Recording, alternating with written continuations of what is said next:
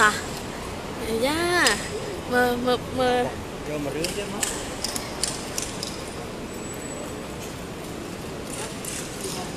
ចា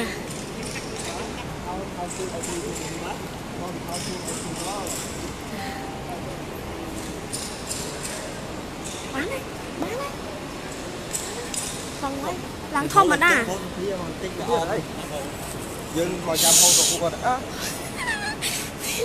ឆុងចូលចូលដូចខ្ញុំដែរគុំមកពីរិនរិនចូលហើយខ្ញុំចាំបងប្រុសគេនេះគេចូលទៅឡាយក្នុងគេចាឡាយអីឡាយតើខ្ញុំអត់ខ្វល់នោះញ៉ាំទៅណាចូលដែរ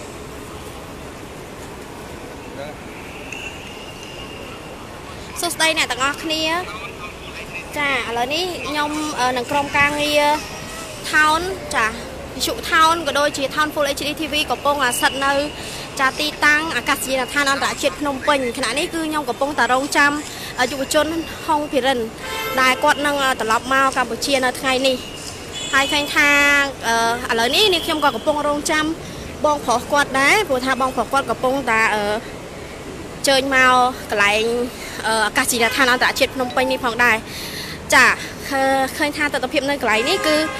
មានអ្នកមករងចាំសាច់ញាតិជាច្រើនប៉ុន្តែចាអឺថ្ងៃនេះពិសេសមែនតើគឺក្រុមការងាររបស់យើង រងចាំយុវជនហុងភិរិន ដែលគាត់នឹងអឺមកដល់នៅពេលបន្តិចទៀតនេះហើយយើងក៏កំពុងរងចាំសាច់ញាតិរបស់បងក្រោយបងទៅកាន់ទៅដាក់ម៉ៃនិយាយច្បាស់តិចទៅលឺអត់ទេម៉ៃអត់ជប់ពេកទៅហឹមចាហើយឥឡូវនេះយើងកំពុងតែរងចាំសាច់ញាតិចារបស់អឺយុវជនហុងភិរិន ចាគឺបងប្រុសគាត់អឺ មកទទួលចាហើយនេះគឺជាអ្វីដែលយើងទទួលបានតាមរយៈការជួបសម្ភាសជាមួយនឹងបងប្រុសគាត់មុនដែលយើងអញ្ជើញមកអឺពលានយន្តហោះចាដើម្បីទទួលភិរិនផងដែរឥឡូវនេះគឺភិរិនបានមកដល់ចាហើយគាត់នៅកន្លែងរងចាំហើយការអញ្ជើញមកដល់របស់ភិរិននេះគឺបើតាមដឹងគឺគាត់មកធ្វើកិច្ចការខ្លះខ្លះៗដែលនឹងមកដល់នៅកម្ពុជាមកមកកម្ពុជា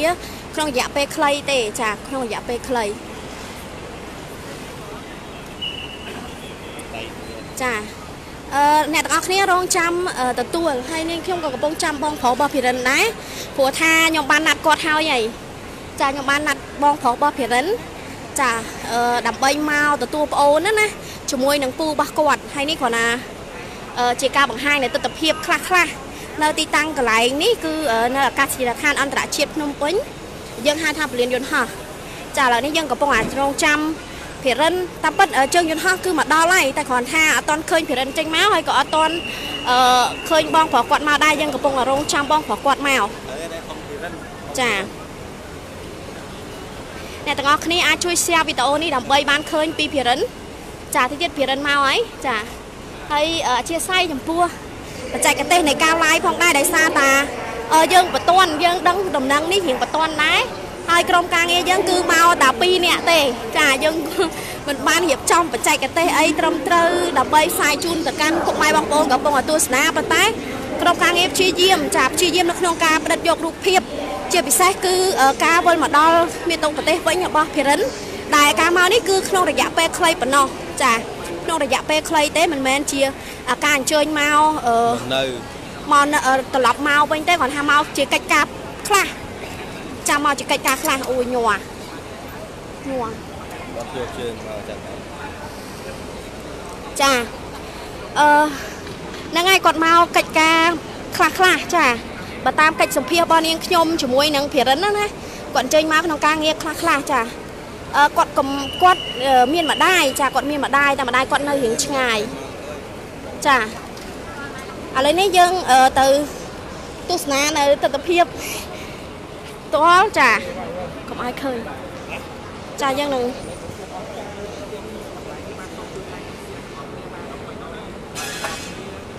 ហើយនេះយើងនឹងអឺរងចាំ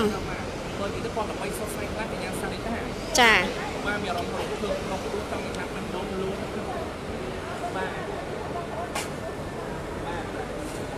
ហើយឥឡូវនេះយើងក៏បានតែហុងដាចាគឺហុងភិរិនចា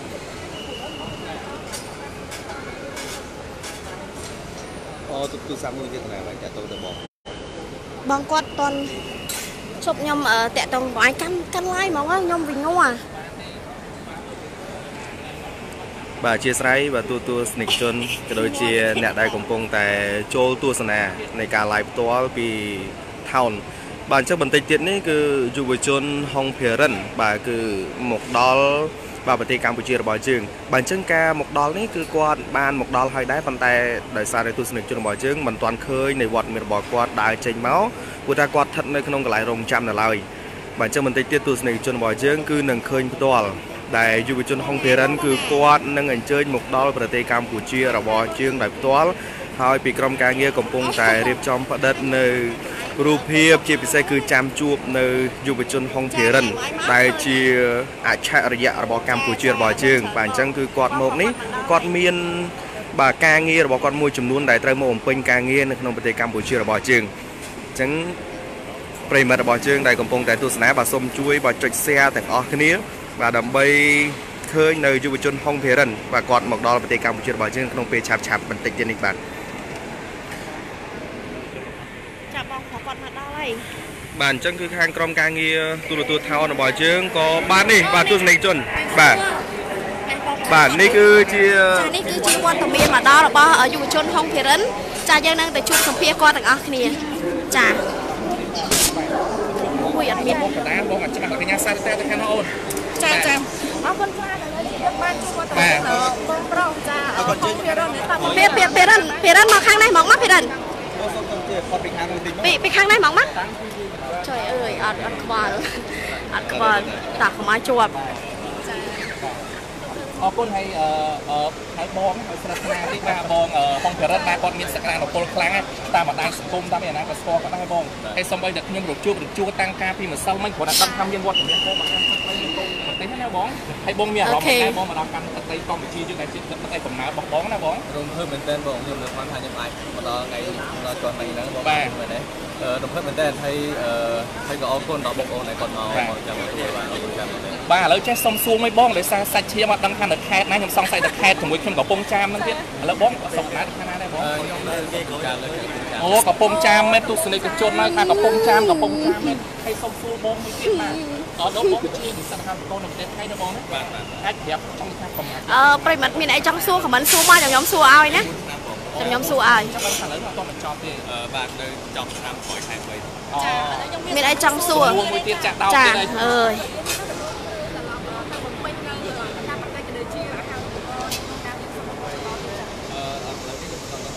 គាត់អ្នកនៅចកាលើហ្នឹងហើយចឹងបានថាមកមានអីចង់សួរខមមិនសួរមកខ្ញុំសួរគាត់ឲ្យណាព្រោះខ្ញុំកំពុងតែជួបគាត់ដែរដើម្បីឲ្យ fan fan អស់គ្នានៅខ្មែរក៏បានឃើញណាបងជាបងនិសាឥឡូវបងល្បីខ្លាំងលើបណ្ដាញសង្គមជាពិសេស around the world បានជួយវិញបងលោកអ្នកណាមិនស្គាល់បងផ្លរុន គាត់រៀនផ្នែកអភិវឌ្ឍជនបទចង់សួរតិចដោយសារខ្ញុំមើលអឺហុកពីរិនគឺជាយុវជនដែលទទួលបានអាហារូបករណ៍នៅប្រទេសថៃហើយគាត់មានអឺលក្ខណៈពិសេសនៅក្នុងការចងចាំខ្លាំងជំរាបជូនថាធម្មតាមនុស្សម្នាក់ខណៈមានសក្តានុពលអីខ្លាំងក៏យើងមានបងពីកំណាគាត់ល្បីលើការគាត់ចងចាំខ្លាំងហើយចូលរួមនៅក្នុងកម្មវិធីរបស់ប្រទេសថៃមួយចាតែអ្នកទាំងអស់គ្នាអាចចូលទៅមើលនៅការផ្សាយរបស់ Page Town បានអូរូបវិជាបាទ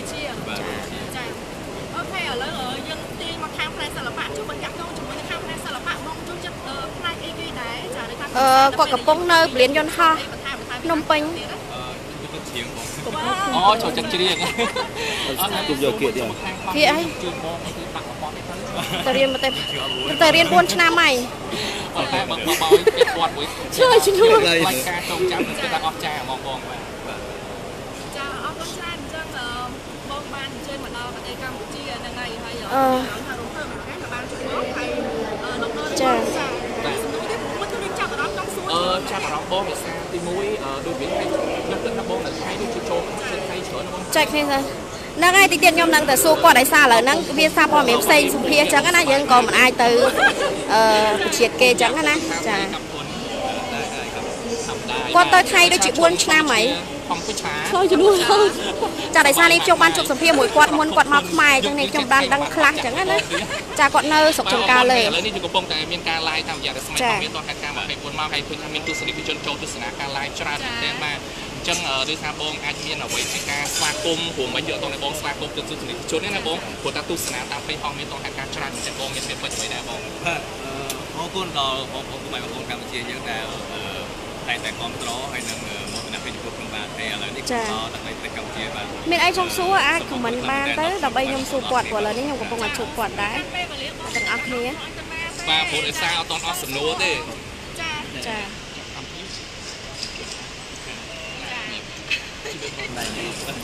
ចាមិនអឺគាត់ទៅមកដល់ខ្មែរថ្ងៃហ្នឹងគាត់ទៅមកដល់ខ្មែរថ្ងៃហ្នឹងអ្នកទាំងអស់គ្នាចាគាត់ទៅមកដល់ខ្មែរថ្ងៃហ្នឹងចា ថាបានជិះមកដល់ប្រទេសកម្ពុជាចាចង់សាកសួរប្រវត្តិសុខភាពផងអឺខ្ញុំចង់សួរខ្លះដែរចាហើយគាត់នៅពលានយន្តហោះអន្តរជាតិចាពលានយន្តហោះភ្នំពេញនៅពោចន្ទង់យើងនឹងឯងអឺអានេះចាំខ្ញុំសួរគាត់នៅពេលតិចទៀតណាអ្នកទាំងអស់គ្នាចាជួយចាំបន្តិចចាជួយចាំបន្តិចព្រោះថាឥឡូវនេះគាត់កំពុងតែជួបសម្ភារជាមួយនឹងសារព័ត៌មានផ្សេងអញ្ចឹងយើងពិបាកនៅក្នុងការនេះអញ្ចឹងណាមានវិធីសាស្ត្រនោះមួយក៏ ខ្ញុំខ្ញុំអត់ដឹងថាគោសួរបងមិនដោយសារបងមានអ្វីដែលពិសេសជាងគេបងយកមានអីចាំរលែកថាពាក់ព័ន្ធនឹងការយកបកកាយចាំចាសួស្ដីចាអ្នកទាំងអស់គ្នាមានអីចង់សួរគឺអាចខមមិនសួរបានទីទៀតខ្ញុំនឹងសរុបហើយសួរគាត់យកតែម្ដងចាហើយកុំភ្លេច share វីដេអូនេះផងចាខមមិនសួរបានខមមិនសួរបានដើម្បីឲ្យនាងខ្ញុំចាំសួរគាត់បន្ទាប់ពីគេសម្ភាសចប់ណាចាបាទអរ គុណនេះគឺជាការបកស្រាយយ៉ាងក្បោះក្បាយពីបងចរុនដែលគាត់ចេញមកគាត់នៅស្រុកចំការលើខេត្តកំពង់ចាមពលរដ្ឋយើងអស់គ្នាមានអារម្មណ៍ថាសប្បាយរីករាយរបស់ពីគាត់ចាទីទៀតខ្ញុំនឹងសួរគាត់ណាហើយកញ្ញាសារិតាមានអ្វីសួរទៀតមានសំណួរឲ្យតែមើលមុខមុខចារលឹកសំណួរអត់ចង់ឲ្យរលឹកមករហូតសំណួរគឺថាច្រើនតែម្ដងអឺចាំមានអីចង់សួរគឺចាំខមមិនសួរមក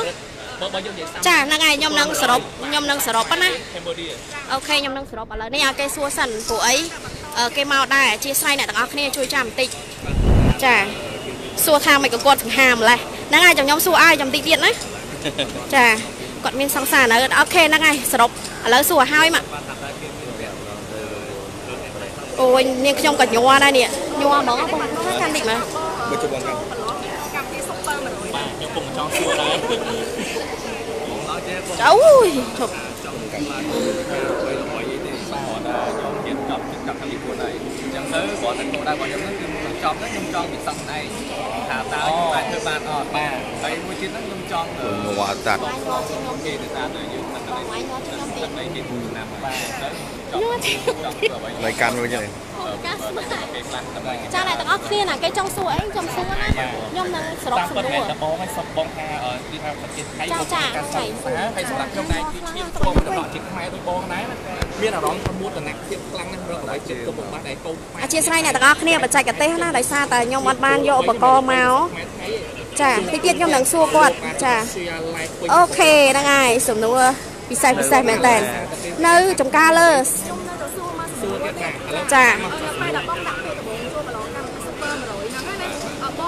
តិចទៀតស្ដាប់បានហើយដោយសារអធិស្ឋានអ្នកទាំងអស់គ្នា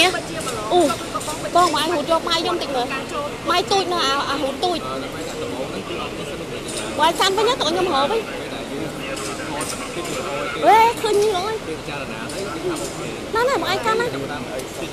បងបងឯងកាន់កាន់មើលដៃនេះខ្ញុំមានអារម្មណ៍ថាកាន់ផ្លូវចិត្តខាងតាមមកបងបងឯងនេះទៅកាន់វិញហើយខ្ញុំហៅជំនឿជំនឿចិត្តបូកជាមួយសមត្ថភាពពីកំណត់ហើយដាក់ដុំពីកំណត់កញ្ញាសារិតាមិននិយាយមានមនុស្សគេមានដុំរៀងរៀងខ្លួនតាបងឯងកាន់វិញហើយអរគុណបងតាមពិតខ្ញុំមើលឃ្លីបអាការបងប្រឡងជាមួយនៅប្រទេសថៃមែនគឺបងស្មឹងស្មាតចង់និយាយថាសម្រួលអារម្មណ៍បានល្អបានន័យថា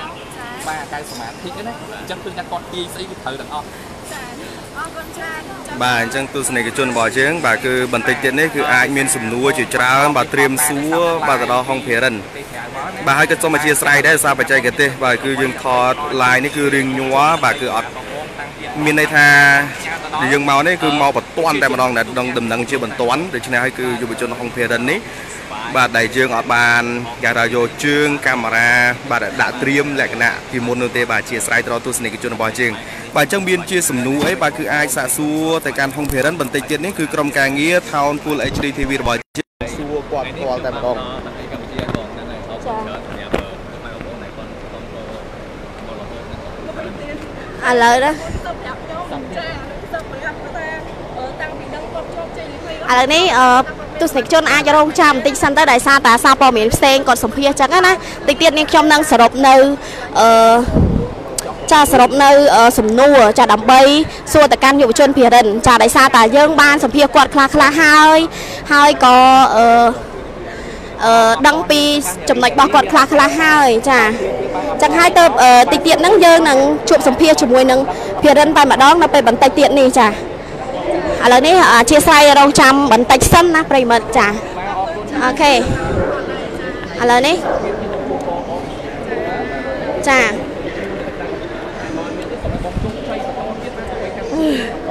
ចាជួយរងចាំបន្តិចទៅចាប្រិមិត្តលើឆាកអន្តរជាតិរួចទៅហើយពួកគេបានស្គាល់រួចទៅហើយយ៉ាងណាក៏ស្គាល់ដែរបាទចាចាអរគុណច្រើនចឹងជាចុងក្រោយក៏អរគុណបងចាហើយអរគុណក្រុមការងារដូចគ្នាដែរចាផងមានតតហេតុការណ៍24ម៉ោងអូខេ តោះឥឡូវនេះឥឡូវនេះយើងនឹងនឹងជួបសម្ភាសជាមួយនឹងភិរិនតែម្ដងអូខេអរគុណចា